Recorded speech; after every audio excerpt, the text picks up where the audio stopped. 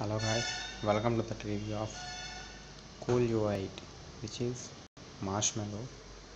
And the beta update is right now in testing.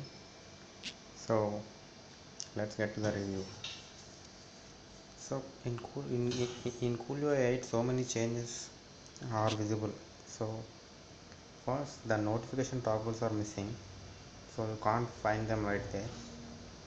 So you have to swipe from the bottom of the phone for the control center. It, it, it's just like the ios see here you have the notifications.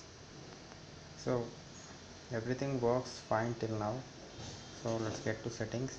And the settings are changed so swipe right for apps settings.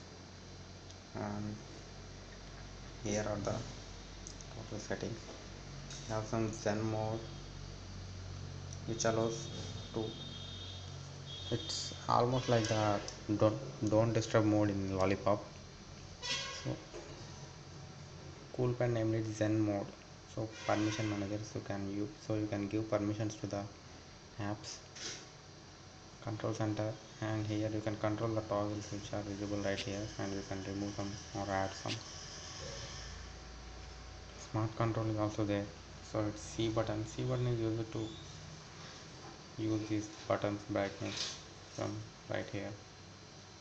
And wake up gesture. Wake up gesture is done double tap to wake slide up to unlock and you can draw some gestures to open browser keypad etc and you can multi-screen you can act multi-screen so you can it's actually multitasking so you can use two apps at a single time. So if you take down three three finger swipe you'll take a screenshot if you, if you enable that. And the battery life is very good and you can see oops sorry guys. You can see that okay it's not working. So that, that may be a bug right there. It's running an android 6.0 and the camera. So you can see the camera works fine. And fingerprint also works fine.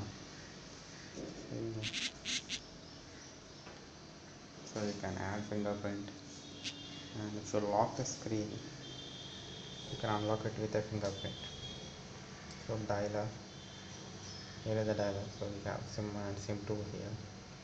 And if you go to messaging the messages are here. And I have installed Textra SMS because it's very easy to use. So basically this is the UI of CoolPad UI 8 and I must say this is very good. So guys uh, subscribe this channel for more tricks and in in, in, in, the coming days I'm gonna upload cool UI tips and tricks. So get subscribed and keep watching. Thanks you guys